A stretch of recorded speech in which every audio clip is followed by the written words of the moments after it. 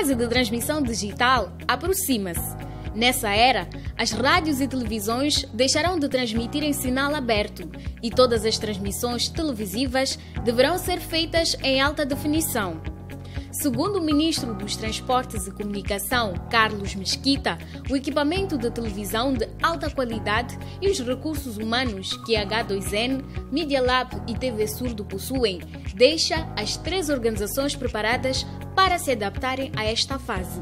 Podem até ser, entre aspas, especializados uh, para trazer uh, conteúdos uh, locais, particularmente, para serem devidamente consumidos para o benefício da, da, da sociedade moçambicana, que vão também apoiar naquilo que eh, possa ter interesse, quer do campo para a cidade, como da cidade para o campo.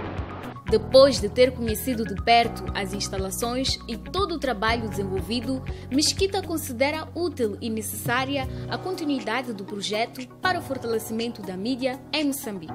Este organismo tem um papel fundamental na disseminação da, da informação a vários níveis eh, e também eh, preocupado com o trabalho com as rádios comunitárias eh, no sentido de levar e trazer informação para os locais mais longínquos e para se fazer a interação entre o campo e a cidade.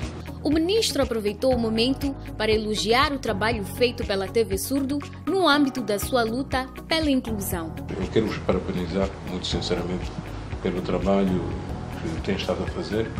Uh, sem preconceitos absolutamente nenhums. Ultrapassem isso, joguem por cima, sejam positivos, porque, porque é assim que nós temos que ser.